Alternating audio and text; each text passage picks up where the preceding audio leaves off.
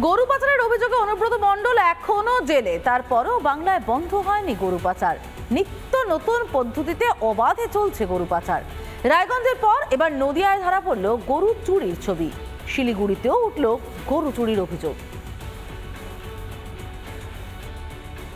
গরু পাচারের অভিযোগে বীরভূমের তৃণমূলের জেলা প্রেসিডেন্ট তিনি এখনও রয়েছে তিহার জেলে। আর রাতের অন্ধকারে এই ধরনের গরুগুলো বেমালুম পাচার হয়ে যাচ্ছে নদিয়ার ভারত বাংলাদেশ সীমান্তবর্তী এলাকা শান্তিপুর থেকে। রাতের অন্ধকার। নদিয়ার শান্তিপুরের সূত্রাগড় জয় নিতাইয়ের মোড়ে হঠাৎই এসে দাঁড়াল একটি সাদা গাড়ি। রাস্তার ধারে দাঁড়িয়ে থাকা তিনটি গরু তুলে নিয়ে চম্পট দিল গাড়িটি। সিসিটিভিতে ধরা পড়ল সেই ছবি। স্থানীয় বাসিন্দা বাসুদেব বিশ্বাস ঢিল মেরে গাড়িটিকে আটকানোর চেষ্টা করেও ব্যর্থ হন। শান্তিপুর থানার টহলরত গাড়িকে দেখতে পেয়ে পুরো ঘটনা জানান তিনি। পুলিশও ব্যর্থ হয় গরু চোরদের পাকড়াও করতে। স্থানীয় এক ব্যক্তির বাড়ির সিসি ক্যামেরার ফুটেজ শান্তিপুর থানায় জমা দেন এলাকাবাসী। একটা গাড়ি নিয়ে এসছে, বুলুরো গাড়ি। সেই গাড়িতে তোমার গোটা তিনে গরু আমরা নিজে চোখে দেখলাম তুলছে। ঠিক আছে? এবার আমরা ভয়ে চেঁচামেচি করতে পারিনি প্রথমে। তো তারপরে আমাদের পাশের লজ থেকে যখন দেখে যে এরকম গরু গরু বাঁধছে ওরা, তখন আর কি ওরা চেঁচামেচি করে। রাস্তার ধারে যখন দৌড়ে যাচ্ছি, তখন কি যে গাড়িটা পেরিয়ে যাচ্ছে। তো আমি গাড়িটাকে থামানোর উদ্দেশ্য তখন একটা হাতে ইট নিই। ইট নিয়ে ইটটা যখন মারি, তো কাছে লাগে, কাছেও ভেঙে যায়, কাছে ভেঙে ইটটা গাড়িতে ঢুকে যায়। তো আমি তারপরে যেখানটায় গরুটা আর কি ধরছিল ধরে তুলছিল গাড়িতে ওইখানে গেলাম গিয়ে দাঁড়িয়ে রয়েছে ইতিমধ্যে দেখি পুলিশের গাড়ি যাচ্ছে ওখান দিয়ে। আমি গাড়িটাকে দাঁড় করালাম দাঁড় করে স্যারদেরকে বললাম যে স্যার এই ব্যাপার। শান্তিপুর গোমাতা রক্ষা কমিটির সদস্য সঞ্জয় করের দাবি এটা কোনো নিরবচ্ছিন্ন ঘটনা নয়। এর পেছনে একটি বড় চক্র কাজ করছে। প্রশাসন কীভাবে খবর দিয়েছে? কেন ধরা গেল না? সেগুলো আমাদের কাছে এখন অজানা। সেক্ষেত্রে আপনারা যাবেন সেক্ষেত্রে আমরা শান্তিপুর শুধু শুধু শুধু শান্তিপুর নয় সারা বাংলায় গোরক্ষার যে কমিটি আছে আমরা তাদের ঊর্ধ্বতন কর্তৃপক্ষকে আমাদের জানিয়েছি।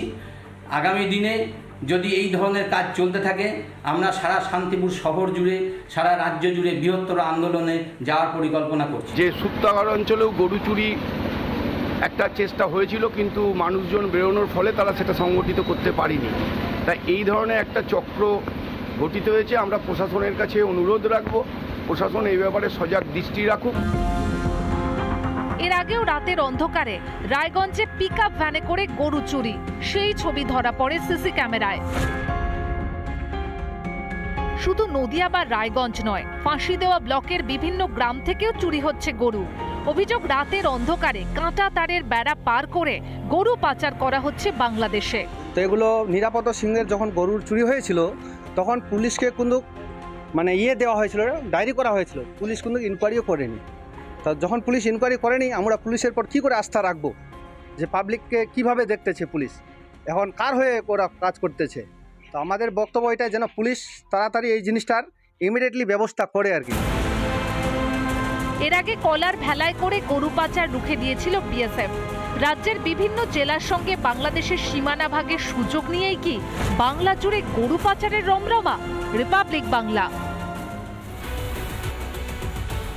শ্রমিকের মৃত্যুতে দুর্গাপুরের কাঁকসার বেসরকারি কারখানায় উত্তেজনা, ক্ষতিপূরণের দাবিতে তুমুল বিক্ষোভ। পুলিশের সঙ্গে ধস্তাধস্তিতে জড়িয়ে পড়েন মৃত শ্রমিকের পরিজনেরা।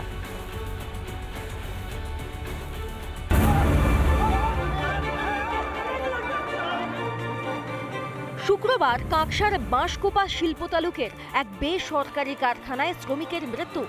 পাইপ সারাই করার সময় দুর্ঘটনায় জখম হন ছিদাম দাস নামে বছর আটান্নর এক শ্রমিক। গতকাল এক শ্রমিক দুর্ঘটনায় গুরুতর জখম হয়। দুর্গাপুরের একটি হাসপাতালে তার মৃত্যু হয়। মৃত্যুর পর সেই মৃতদেহ নিয়ে কারখানার গেটে বিক্ষোভ করে তার আত্মীয় স্বজন ও শ্রমিকেরা কোম্পানিতে অ্যাক্সিডেন্ট হয়ে মারা গেছে এখন আমি বলব আমার দাবি কুড়ি লাখ টাকা দিতে একটা কোম্পানিতে না। পরিস্থিতি সামাল দিতে ঘটনাস্থলে আসে পুলিশ। বিক্ষোভকারীদের বাধা দিতে গেলে পুলিশের সঙ্গে তুমুল ধস্তাধস্তি হয়। কাজ করা চলাকালীন। ডিআইবি যে বড় বড় পাইপ ওনার মাথায় পড়ে স্পট এখন বাসকোবা গ্রামে শ্রীদাম দাসের পরিবার কর্তৃপক্ষের কাছে ক্ষতিপূরণ চাইছে। আশা করছি কর্তৃপক্ষ পরিবারের সাথে থাকবে না হলে কিন্তু আমাদের বৃহত্তর আন্দোলন চলবে। দুর্গাপুরের কারখানায় প্রায় শ্রমিক মৃত্যুর ঘটনা ঘটছে।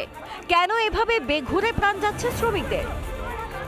ক্যামেরায় তাপসের সঙ্গে রামেন মজুমদারের রিপোর্ট রিপাবলিক বাংলা দুর্গাপুর। দক্ষিণবঙ্গ জুড়ে অবিরাম বৃষ্টি প্লাবিত একের পর এক জেলা। এরই মধ্যে মাইথন ড্যামে জল ছেড়েছে ডিভিসি সঙ্গে সঙ্গে শুরু হয়ে গিয়েছে সেই পুরনো দোষারোপের পালা। রাজ্যের অভিযোগ না জানিয়েই জল ছাড়ছে ডিভিসি পাল্টা ডিভিসি তথ্য তুলে রাজ্যকে জবাব বিজেপির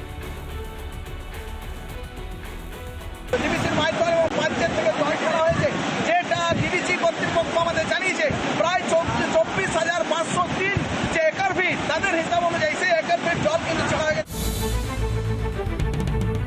রাজ্য জুড়ে প্লাবন জলমগ্ন দক্ষিণবঙ্গের বিস্তীর্ণ এলাকা। বর্ষা আসতে ফিরল জল যন্ত্রণার সেই চেনা ছবি। এরই মধ্যে শনিবার মাইথন ও পাঞ্চের থেকে পঁচাশি হাজার কিউসেক জল ছেড়েছে ডিভিসি ডিভিসির জল ছাড়া মাত্রই রেড়ে করে উঠল রাজ্য সরকার। ডিবিসি ড্যাম থেকে আরও এক লক্ষ কিউসেক জল ছাড়া হবে, যেটা পশ্চিমবঙ্গের মানুষের জন্য ঘোর বিপজ্জনক হবে বলে রাজ্য সরকারের আশঙ্কা। এই জল ছাড়ার ব্যাপারে রাজ্য সরকারের সঙ্গে কোনোরূপ আলোচনা হয়নি। রাজ্য সরকার ডিভিসি কর্তৃপক্ষ অনুরোধ করেছেন এই বিপুল পরিমাণ জল আলোচনা ব্যতিরেকে সহসা এবং একতরফা যেন ছাড়া না হয়। সত্যিই কি রাজ্যকে না জানিয়ে জল ছেড়েছে ডিভিসি হাতে নথি নিয়ে জবাব দিলেন রাজ্য বিজেপির সাধারণ সম্পাদক জগন্নাথ চ্যাটার্জি।